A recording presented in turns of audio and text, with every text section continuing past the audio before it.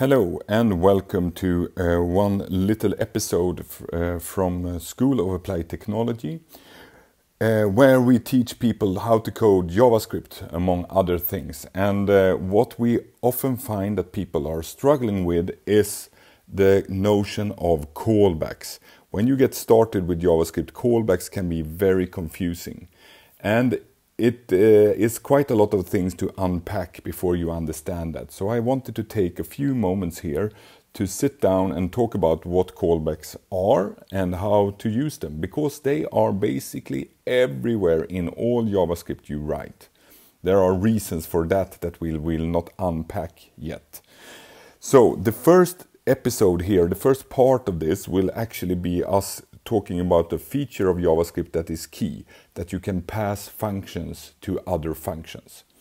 And I will basically run through this blog post here that you can find at saltstockholm.github.io pro tips passing functions. So imagine that we have a function here. It's just a very simple little file here. So I'm going to write a function using the old syntax here. Uh, let's call it hi sayer that basically just logs to the console hi, like so. It's shouting. I'm not going to use semicolon. If we run this now, what will happen? Well, nothing will happen because we have not used that function. It just declared. So nothing happens. If we want to get to use the function, we call functions in JavaScript by doing two parentheses like so. So now when we run this, it will actually run this function over here, which will hit this console log. Let's see. Yes, so far so good. This is really cool, but what is even cooler is that I can write another function here called function main. And that will take a little parameter. Let's call it fn, which is is short for function. And in this function, we do another console log statement, uh, just to say about to use a function passed to me. And then on the next uh, log statement here, yes, let's just log that function. So I'm just going to log out that parameter. So now if I call main here and then pass it hi sayer, so notice that I'm not using the parentheses here, I'm just passing the name of the function as a reference in here. Meaning that fn, once I get in here, fn will be bound to hi sayer. So I'm coming in here, I will get this log statement on, statement on line 6, and then I will do log of this. What on earth will happen now? Let's see. I'm going to call that and see.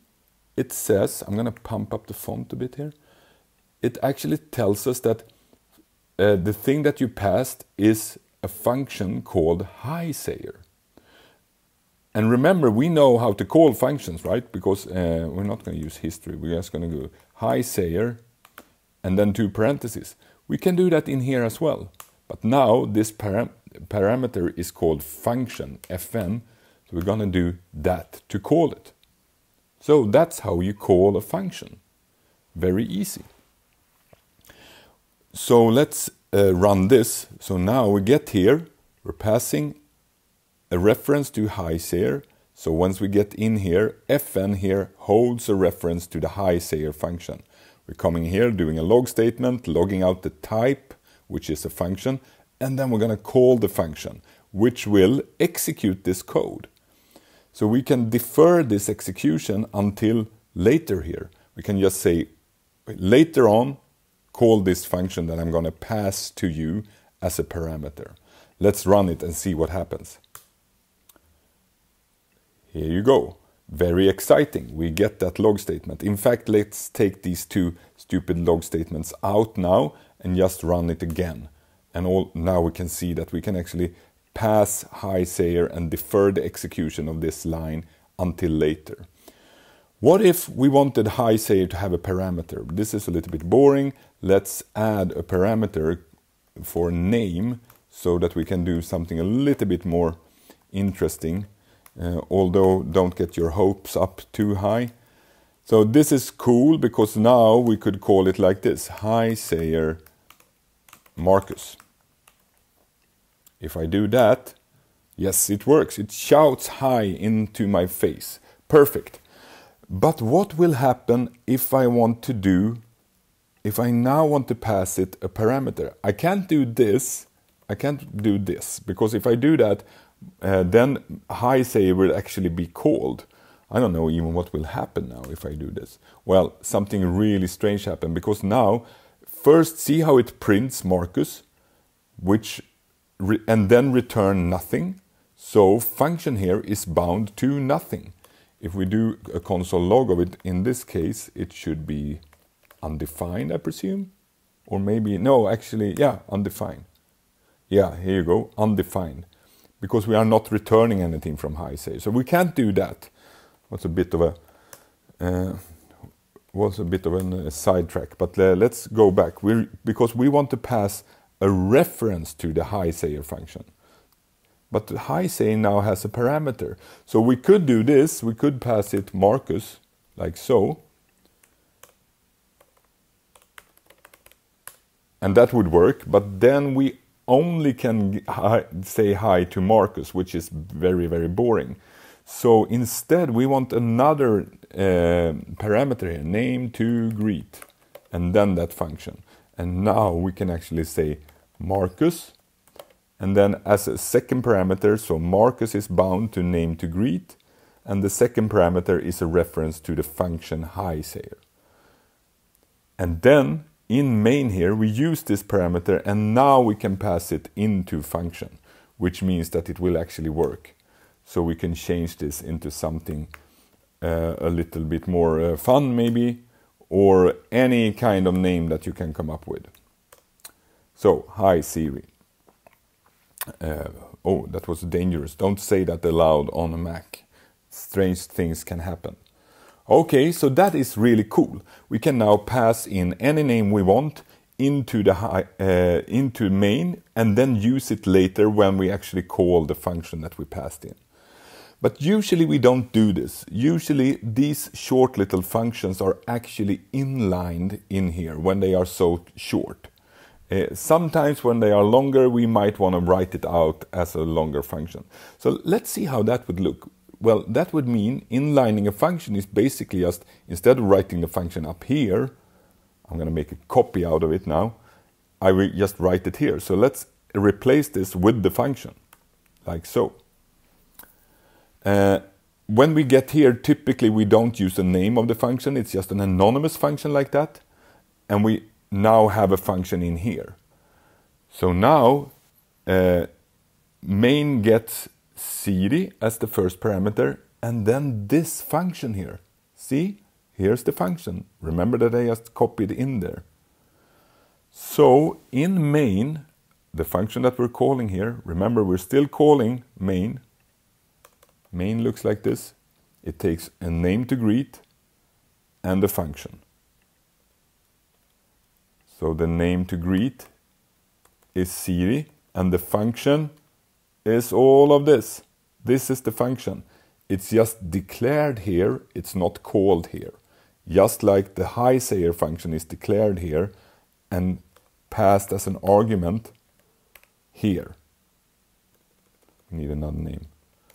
I'm going to say hi to both Marcus and Siri. So now we're just pressing a reference here. And this is this exactly the same thing, but we're writing the function inline here. So when we get here, name to greet will be Siri, and function will be bound to this thing here. And then we can call it as before. We call the function, this function here. And now we're passing it name to greet, which is Siri. So we're passing it a name here. So this should be, uh, this should say name, uh, hi Marcus and then hi Siri. Phew, it works. So let's walk through that once again because this can be a little bit confusing before we try, start to clean this up a little bit. The, the main function takes two parameters. The first one is the name to greet, just a string, and the second one is a function. So when we get in here, we have a string here with a name to greet, and we have a function which is just a function. So let's log those two out just for for brevity. Name to greet and then fn. And we're going to run it again. So now you see the name to greet is Marcus, the function is hi sayer. Here's a nice little trick by the way. Let's do that. So now we see name to greet is Marcus, function is hi sayer. We can, I think if we do that here as well, it'd be very easy for us to read, like so. And then we call the function with name to greet. So in the first place, the name the function is called hi sayer, and in the second case, it doesn't have a name. I don't know this. Let's try to give it a name. Hi sayer inline. What will happen now? Yeah, sure, you can have a name there, no, no worries. Usually you don't though when you inline a function because it will only be available in this scope, so there's no reason giving it a name, but you can if you want to. So that's how this whole thing goes together. But very often nowadays we don't use this clunky syntax, but we actually do a much shorter syntax. So let's convert this hi sayer here into a shorter version. And a good way of doing that is that the first thing we can do is actually to make this too an anonymous function but store it in a constant called hi sayer like so. This doesn't change anything, it's just that it says now that this anonymous function is bound to the constant hi sayer. So just doing that doesn't change anything. We can run it again and it works exactly the same. Uh, actually, let's do that here as well. We're going to make this an anonymous function that we bind to a constant called main. Perfect. Everything is fine. But then nowadays we don't use this clunky syntax. We are using arrow uh, arrow uh, functions instead, which basically means that if we clean this up a little bit, we can take out the word function and we can make it into an arrow like this. And this will also just work perfectly fine. It works exactly the same.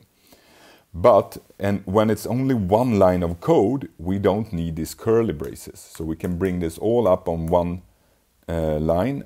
And now you see that it's just one line, a little bit long maybe, but it's doing exactly the same thing. So let's try to clean that, uh, to run that again. And it works exactly the same. It's now much shorter. And in fact, when there's only one parameter, you don't even need parentheses around the name. So you can just do that and it still works.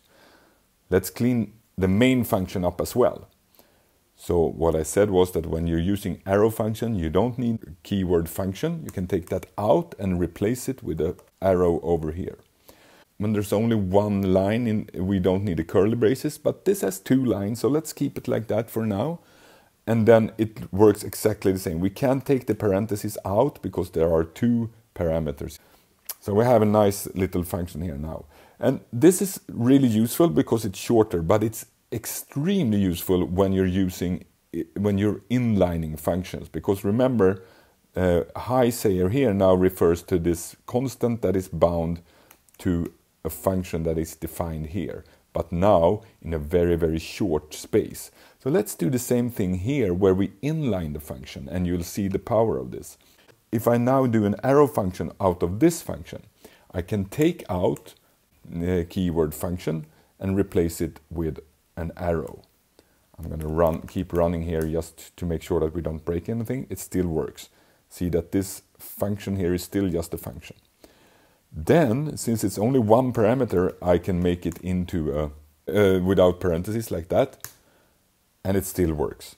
And since there's only one line of code here, I actually don't even need the, the curly braces. So I can take the curly braces out as well. And it will now look like this. And then typically we have a very short parameter here, so it makes be, becomes really, really short. And it still works because it's, that's just the name of the parameter. So now all of a sudden you see that this is very, very tight functionality. Uh, but it can be extremely confusing to read this, so let's walk it through it once more as the last time. Hi sayer is a function. This is the definition of the function. It is a function that takes one parameter and all it does is that it logs that parameter in a string with hi and then the name of the uh, and then the value of the parameter. We can call here, not history. I don't know how many times I've done that by doing this. And when we do that, it will print hi me's like so. But what is even cooler is that we can pass a reference to that function into another function. So here's a function called main. It takes a name to greet and then a function. So when we come here, I've now passed hi Sayer bound to the fn and Marcus bound to name to greet. So where we come here, we log out those two parameters to see where we are, and then we call the function here, much like we called the function directly here, passing it the parameter name to greet. So this is really powerful because it means that we can defer the execution of HiSayer until we are using it over here. We are using it by calling it with parentheses and passing it the name to greet. Typically, we don't write the, the, the function uh, that we're passing in as a separate function up here. We can do that, but we don't need to. We can actually write it right in, in the place where we are using it. So here we're saying the first parameter of the function is Siri, name to greet will be Siri, and the function will be this function over here an anonymous function that only takes one parameter and then just logs out that parameter. The parameter name happened to be uh, n, but I can change it into something uh, more uh, useful. So that means on line 10 when we call uh, main, we come up here, name to greet is bound to Siri, fn is bound to this function that is declared here in line. We are not calling the function here, we're just declaring the function here. And then we come up here, fn is bound to this anonymous function that we are calling here, passing it Siri, which is bound to name to greet. So running it once last time now, and that's exactly what happens. Name to greet is Siri, fn is an anonymous function that we can't really see the definition of. So that is the first part of callbacks, which is that you can actually pass functions as parameters in JavaScript, which is a really powerful thing, but can be pretty confusing the first times you see it as well. I hope you found this useful. Thank you.